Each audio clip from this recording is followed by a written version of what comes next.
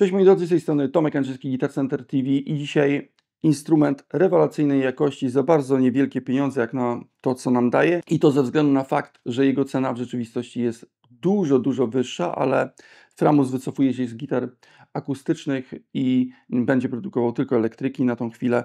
Dlatego my w Guitar Center mamy tutaj naprawdę niezły przekrój za bardzo, bardzo, bardzo rozsądne pieniążki. Jeżeli szukacie bardzo dobrze brzmiącego akustyka, to ta gitara jest jednym z nich. Tutaj mamy instrument, który zwie się FD14. FD nawiązuje do Framus y, Dreadnought, czyli kształtu pudła rezonansowego. Tutaj mamy wersję z cutawayem, czyli pojawi się tam CE na pewno.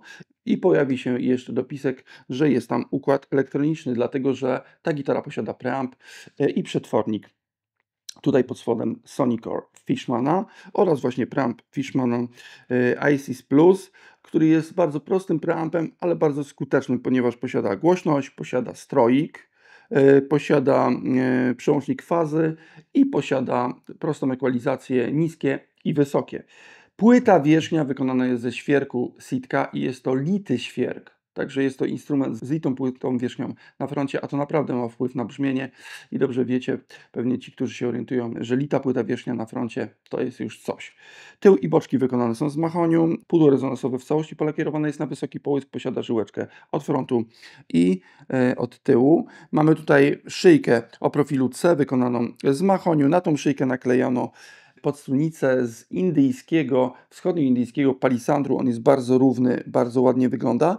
Nabito na nią 20 progów medium, duże kropki na podstrunicy jako markery i przy krawędzi podstrunicy również mamy malutkie kropeczki, żebyśmy mogli orientować się na gryfie. Klucze w przełożeniu 15 do 1 w układzie 3 na 3 bardzo skuteczny, bardzo dobrze brzmiący instrument za bardzo rozsądne pieniądze. Pogracie na tym wszystko.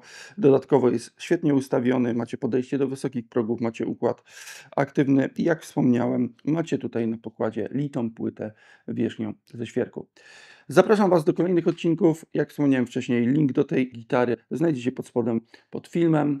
Subskrybujcie nasz kanał, odwiedzajcie nasz sklep stacjonarny w Łodzi przy ulicy Brukowej 6 oraz wchodźcie na gitarcenter.pl. Cześć!